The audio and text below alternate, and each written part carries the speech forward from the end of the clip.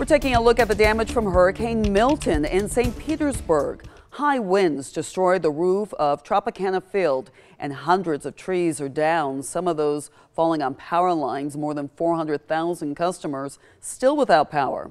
A crane in the downtown area collapsed onto a nearby building. No one was in the building at the time. Tornadoes destroyed multiple homes on the west coast. The owners say they saw the tornado from their back window. Cracked walls, broken windows, and a hole in the roof are just some of the damage that remains at one home.